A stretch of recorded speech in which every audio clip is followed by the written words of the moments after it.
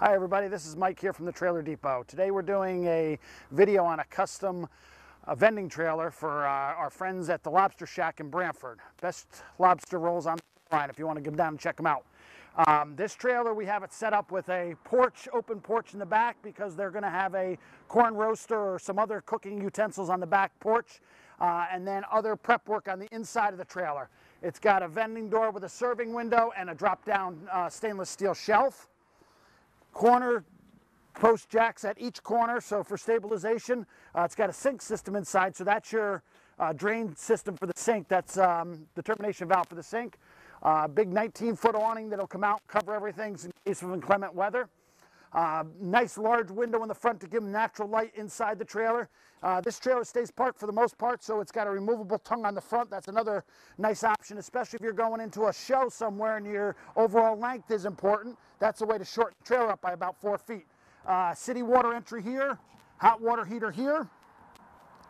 Uh, it's going to be plumbed for uh, the hot water heater is propane fired, so that's your propane stub right there.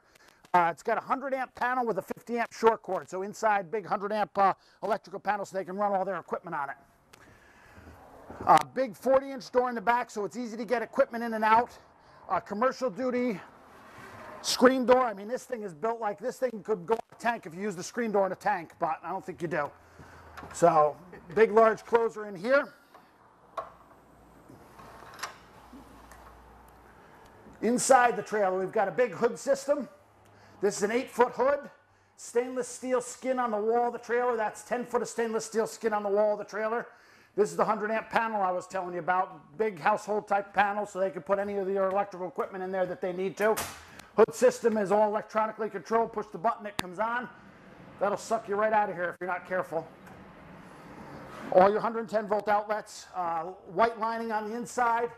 Uh, they're going to put all their own equipment in this trailer. Uh, big sink system. It's a commercial duty sink, uh, just like you'd see in a restaurant. You got your base sink plus your hand wash sink. Uh, the plumbing package from ATC comes just as you see it here. This is a complete plumbing package with your hot water heater, three bay sink, hand wash sink. Uh, you've got your paper towel dispenser, soap dispenser, tank monitor, hot water heater switch, Big still storage underneath here. You got quite a bit of storage on this because this does not have a freshwater holding tank. We're going to use city water only. If you wanted to, if you needed to be dry, then you could also have a uh, city water, I mean a freshwater tank on board the trailer, so it'd take up a little bit more room. Hot water heater over on this side, battery to run all the pumps and the LP gas leak detector, and the um, also for the, for the uh, air conditioning. This trailer is air conditioned. We put an air conditioner in here so they can work comfortably in the summer. Um, because of the serving window, you've only got screens here, so you can close your window down, still have the, the screen still so the bugs can't get in in the hot weather, and then open your screen to serve it. So. Uh, this also, we have a very large gray water holding tank inside, so we had to raise the floor in order to accommodate that. So you notice the fenders are very low on the inside of the trailer. That makes it really good for uh, putting your equipment in there and your, your work tables and so on.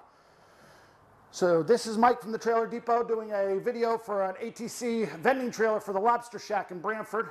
Uh, thanks for watching. You can find us on the web at thetrailerdepot.com, like us on Facebook, and also check out our YouTube channel. Thanks and have a great day.